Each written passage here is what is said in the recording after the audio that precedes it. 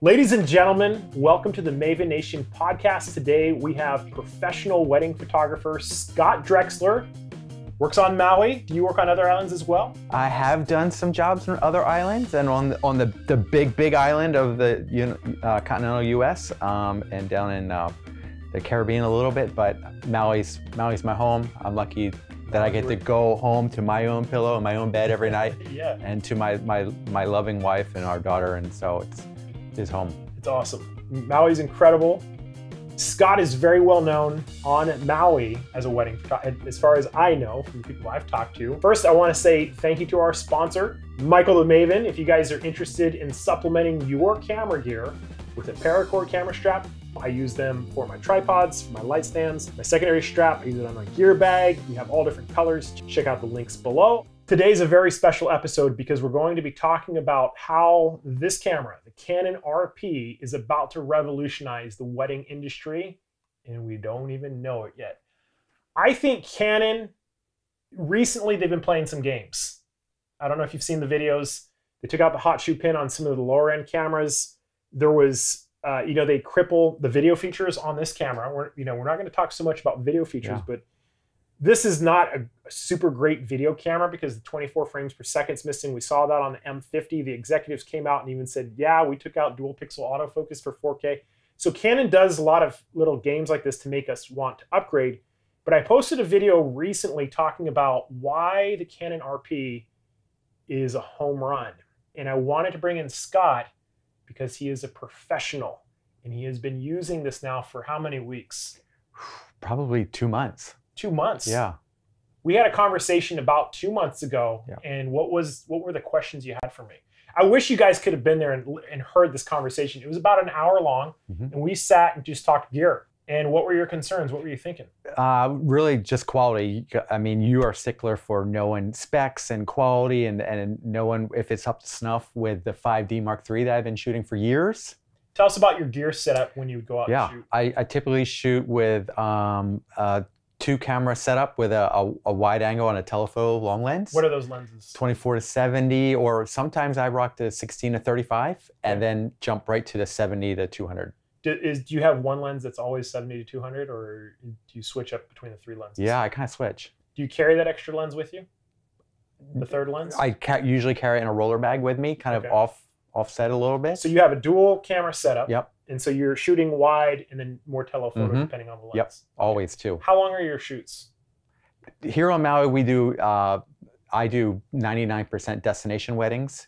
And so it's smaller groups, at least always two people, mm-hmm. but usually up to 50 to 100 is a kind of a big size. And so it's really, you know, um, a little bit of prep before a ceremony, ceremony, and then um, some portraits afterwards with a little sunset action to kind of conclude, and then they go off to dinner. Two of them or a small group will go off to dinner. And so my, my gigs are usually two hours. There are some threes, there's some sixes, there's some one hours. And so it's really a, a more about quantity or mm-hmm. doing doing a, a, high volume. I usually do about three a week. Wow, that many. Yeah. So you're so you're you're there, that brings up a lot of important questions about workflow. Hopefully, we'll talk about workflow and how, why it's so important. Yeah. How long have you been shooting for? Um, as a um, pro, full time? Over 10 years. Over 10 years. Yeah. And before that, I did 10 years as a wedding videographer. Um, so I've been in the industry for over two decades and kind of seen a lot of lot of changes in our industry, and um, I'm lucky enough to still be going and being relevant. So I'm, I'm super thankful for that. Scott is one of the more happy, positive, cheerful people to be around. We met at CrossFit. Yep. We work out, and he's always in a good mood, high energy. If I get married here on Maui, which would I don't know what I should, I probably should get married here on Maui, right? This is the spot. This is my guy. Yeah, bro. Be my honor. So we're we're gonna get all your social media, your yep. email, cool. put that up. Those will be in the links in the description below.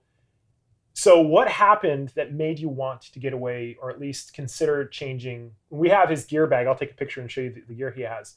Show us some of the gear that you were using. 5D Mark III with a grip. Do you have that, or I don't have any grips on. But you did. But I did. I, I like to build. I got big hands. I'm 6'2", 200 pounds, kind of big guy like you, and so I like to go in, in, in a vertical and have that that grip. I like that the way my straps are. It didn't hang nicely on it. So I kind of went away from it.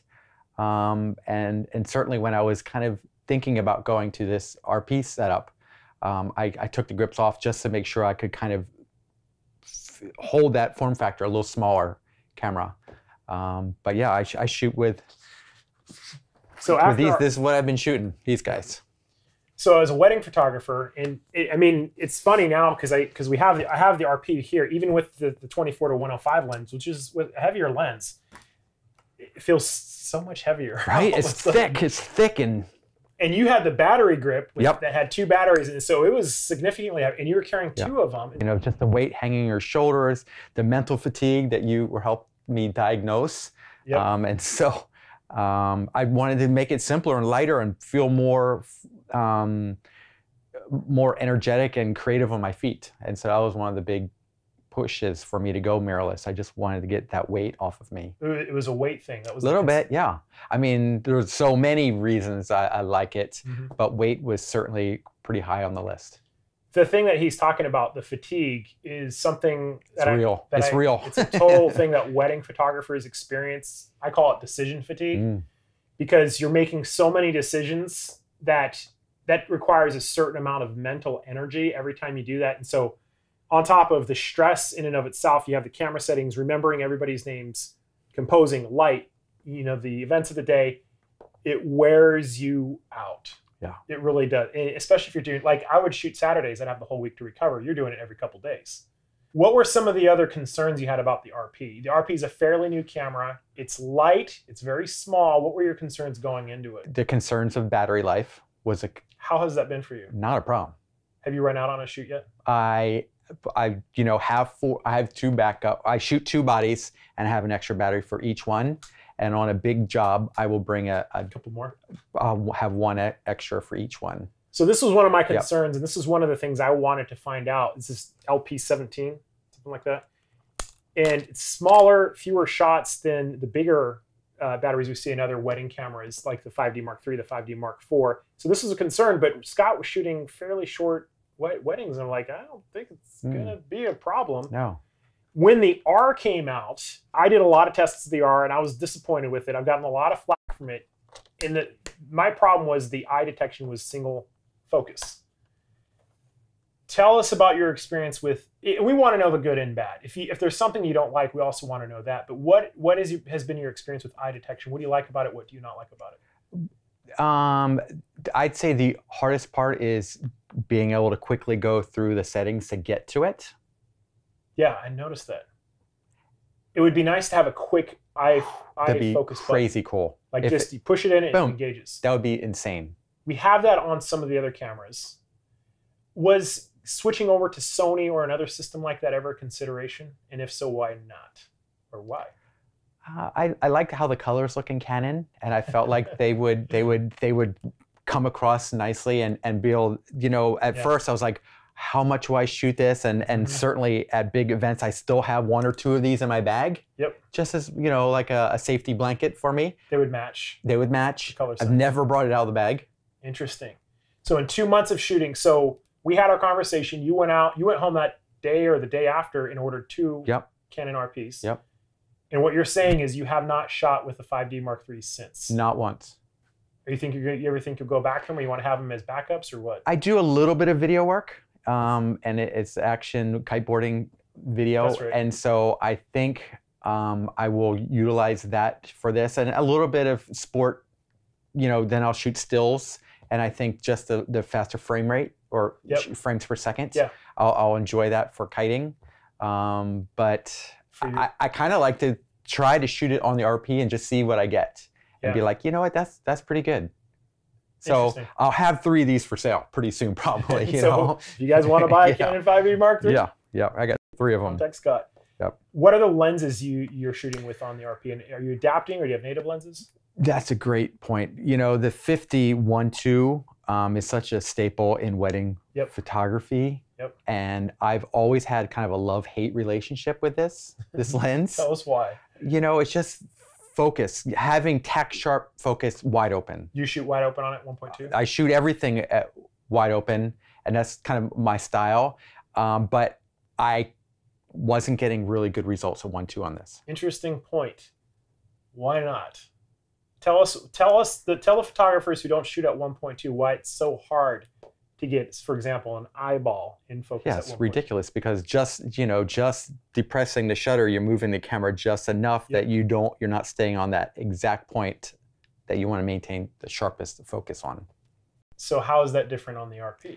I, you know, with the eye detection, it's super rad. It's super cool. But I also think that there's some kind of like magic dust that they put into the RP that just brings life to these lenses mm-hmm. that somehow they communicate better. So you're adapting over your old Canon EF lenses. All of them, yeah. You, you didn't get any native lenses for it. Uh, Canon just announced today. is it today or this morning? The 85 1.2. Saw that. You saw that? It's a beast. 26.99. Right $2,700. There is a there's the Holy Trinity that's coming, the the 70 to 200 native for the RF mount, the 24 to 72.8, and then the 16 to 35 mm. I think it's a 2.8. So in terms of the lens game, Canon is going full board. They're going to be caught up, I would say, within a couple years probably with Sony, who's been pumping out G Master lenses like crazy. So Sony or uh, Canon is definitely committed the native lenses are coming. I think they're really expensive, but I, you know, I shoot with this 24 to 105. It is a super sharp lens. It's heavy. It's a bigger lens. You know, you don't get a lot of weight savings from this over the old 24 to mm-hmm. 105, but the performance of it is astonishingly, I think, better. It's mm-hmm. sharper. Mm-hmm.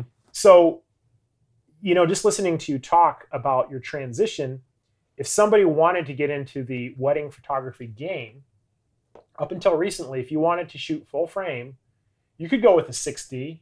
You would, you'd be limited in your focusing square coverage. But typically, most wedding photographers that I know, they're going 5D Mark III or 5D Mark IV. Mm-hmm. Those cameras, they're bigger, they're heavier, they're more expensive. And so the question that a lot of our viewers want to, you've basically answered it, is could a, a professional wedding photographer use the RP? You know, I, I think so. I mean, so? I am.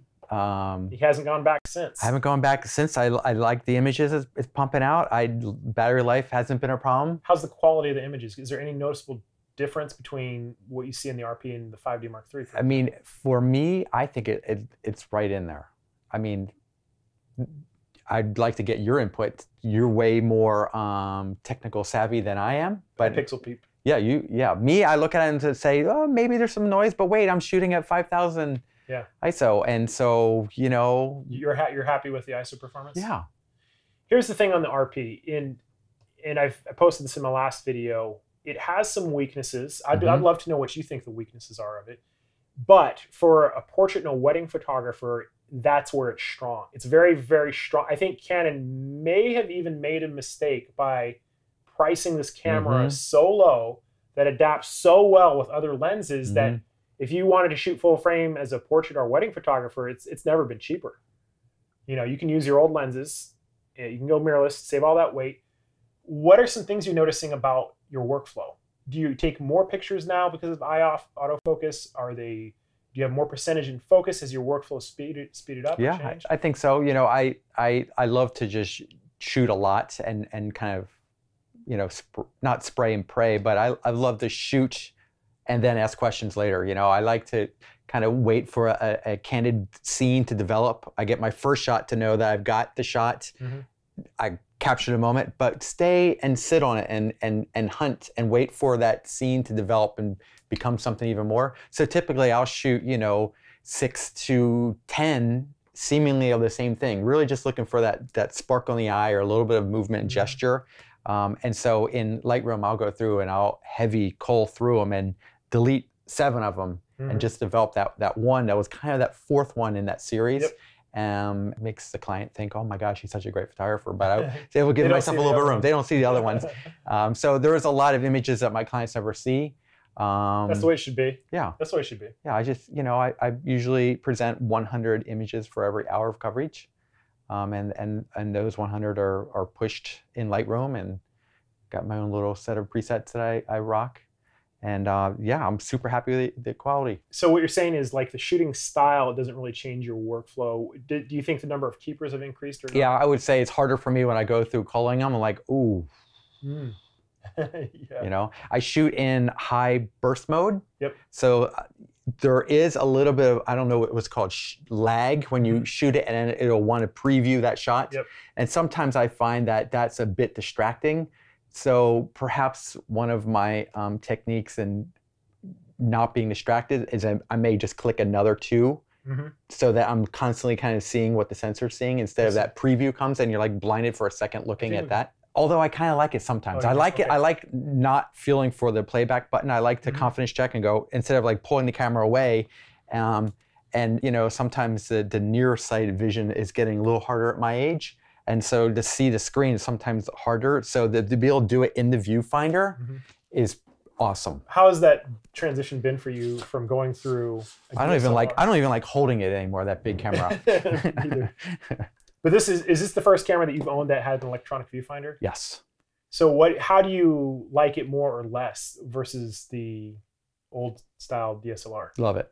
Because because I can do all my menu settings in the viewfinder and see, you know, what my ISO and you know, I was pretty efficient in the viewfinder with my standard DSLR, but to be able to really get in and look at the detail and zoom in and see where I'm clipping and and to see the detail in the viewfinder in bright Hawaii sun, yeah, ridiculous. and you get an exposure preview. Yeah. So you know where you are. Oh yeah, that's key. You know, is shooting super wide open like I do. You know, I, I like to kind of visualize like maybe that is too shallow depth field. Maybe I Mhm. should close it down a little bit to Yep. you know. And so that's cool to be able to see that preview. I've uh I've noted there. I have I'm left-eyed dominant. You're right-eyed dominant. Yep.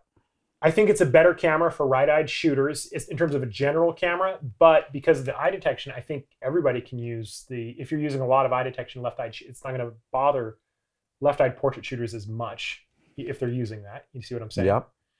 Look the nose. I can't even do it. Nose problem. But I will say that when I go to vertical sometimes and my eye isn't at the same nested into the viewfinder as well, that relief. Mhm. That sometimes the, the being able to change your your focal point Yep. it the viewfinder is tricky where it knows if you're close or if you're far it Yeah. and so if you're in vertical sometimes just i'm far enough away that it's not sure yeah. and i wonder if your left eye if you get that all the time The problem I had with my left eye is I kept bumping the uh, screen with my nose. yeah And so the focusing score was changing. It was driving me crazy Yeah. crazy. i made it so that this lock locks the good idea. screen so Yeah. that the nose wouldn't do something like that if Interesting. What are some of the ergonomic things that you do not like, or you know, any? I, I've made a whole video about the ergonomics of these cameras, but what are there any ergonomical things? We've talked about the weight. We've talked about the size. Those are advantages. i would say that um The AF on button. uh, no this is good cool the on off button I, I meant the AF on. Yes. Button. You do you hit that? I hit that. Interesting. It's right where my thumb goes. And so if I'm talking to the client or helping with, you know, posing or carrying something and I go back to grab my camera, I'm constantly hitting that. Are you a back button focuser? No. Interesting. But I will say that I, I've turned off the beep and it, because I love how quiet it is. So I've like gone as quiet as I can make it, no beep. And typically I'm a beep, I was a beep shooter. Sure. Um, but Yeah. now I like being able to see the different color to know that green is one shot or blue is auto servo. That's so right. I just do a, a, visual cue. I'm like, okay, it's silent, which typically would have meant auto servo in my old life prior to Yeah. um, mirrorless. But now I just really look for that look for the, the vi- video or the visual confirmation to know which mode I'm shooting. Some photographers or pro photographers are paranoid about card failure. Single cards. I mean, I'm I'm par- I got all kind of issues. with, with, with this video isn't long enough for all the things I'm paranoid or anxious about. have you ever had a card failure I in your ten years of shooting? I, I even my 10 years before that shooting video, you know, we would go out and shoot with big broadcast Mhm. cameras shooting um, a JVC format called D9. And it was an expensive camera back in the day. I mean, the car that I drove was cheaper than this camera. And and these were the back in the days when you had one one thing, and there was no second camera run and get it Yeah. out of bag. So Yeah. I, I take good care of my gear. I'm, I just know how it is, and I, I, you know, they're high mileage. I have lots of clicks on them, but I know that th- I take good care of them, and I know and I knock on wood wherever I am to to, Yeah. to, to hope that the cards don't fail fail me. I buy the best cards that I can can get. Yep. Um, I don't shoot with super huge cards, and I haven't had a problem. I want to come back to this question about color science because there are a lot of people who believe color science is not a thing. I believe color science is a thing. I'm one of the believers in it, but I do not believe everybody can see it. I think it's certain people who can see it. And it's sort of like trying to prove if the moon is pretty. You, know, it's an opinion. How can you prove something's beautiful or not? It's the same thing with color. How can you prove that this is good versus bad color science? And I have a definition for color science. You probably have your own definition for color science, but I tend to prefer Canon color science over the other ones. Do you have a reason why you like it? Can you try to just explain it, or just just? It's just something to do with flesh tones and how the skin looks. exactly. It's just more of a feeling thing for me Yeah. than technical. What are some things that you do not like about the camera? What are the negatives that you say this sucks about it? Okay, we talked about the need for a direct eye AF on button. That'd be that'd be epic. Uh, to be able to be um, in the same battery charging space, I've invested a lot of money into other batteries. It'd be rad if it Yeah. was like, oh yeah, just plug in your old battery system. That would been that would Yeah. been cool. Sure. Um, I had a lot of compact flash cards. It'd been nice if you know, yeah. but I'm I'm adapting to the SD card nicely. It's all good. Um, You seem pretty happy with it.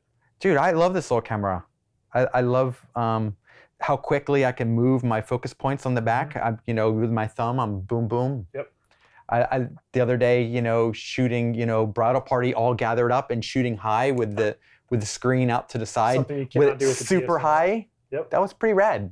Yeah, and tip. I, I believe that sharing is caring. So oftentimes I'll have the bride and groom kind of snuggle in, and I'll have the groom hold the camera and do a selfie with all his bridal party all tucked Mhm. around. Yeah. And before I just kind of would click it into, I'd set it manual and click the focus to manual and just kind of get it into space, you know, shoot super wide 16 Yeah. millimeters. And now, you know, to be able to, to be able to do it kind of myself and kind of get up super high and get in there with that, that's pretty cool to be able to do that. And low, you know, when I'm dragging two bodies on me, sometimes it's hard to really crouch and kind of, or sit down and stand back up from sitting. So I'm more of a crouch Yep. kind of guy. So be able to crouch down and get that. So you like the monitor? The monitor's pretty rad. You like the touch screen? I'm good with it. I tur- I I'm a disabled. I will say that The touch sometimes shutter. the touch shutter sometimes enables, but I wish that would go away. Yeah. Lock, lock that. I wish it was a. I'm more of a button and dial kind of guy than menu things. See, here's the thing: is we is the conclusion that I've come to, and I think the conclusion that Scott is coming to, to is that the RP is a professional portrait camera.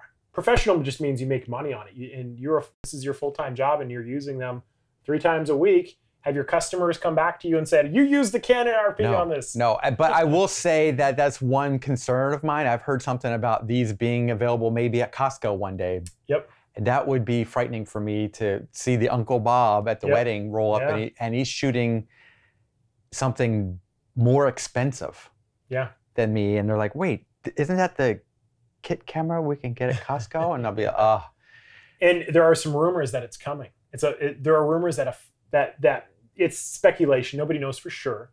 There might be like a five hundred or six hundred dollar full frame. They there there is some belief, but who knows? But a, a thousand or it's 1200 Mhm. 1299 something like that is ridiculous. right. Uh, you and I both know there's so much more that goes into it than just the camera. You know, there's the composition, there's the lighting, there's the knowledge of the framing, there is the the people skills. All these things come into play, and uh, you know, so I I believe you know in, in wedding photographers for a time they were worried about uh, cell phones. How good are cell phones Yeah. become? Some of them are Yeah. becoming pretty good, Yeah. but most wedding parties still hire a real photographer for their wedding. There's a reason the sensor's larger. It's going to be there's there are advantages to that. Better lenses, better glass, better colors.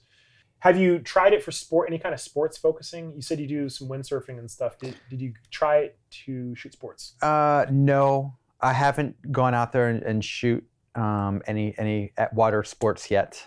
Um, doves flying, you know, dove release release. Um, maybe a flower petal toss as bride and groom are coming right at me. That's probably the most sport I've gotten, and I will say that it sometimes has a hard time finding and locking on that focus. I've noticed that too. it's not a sport shooting camera. It just isn't. Yeah. The, the frames per second are low, and I don't think it's up there in Yeah. terms of its ability.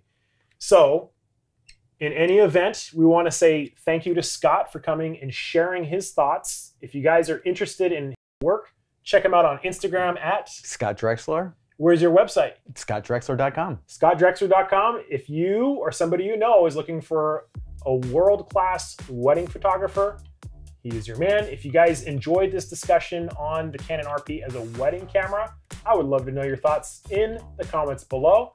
Check out some of my free videos and the camera straps. Those links are also there as well. Thank you guys for watching. We'll see you next time. Aloha.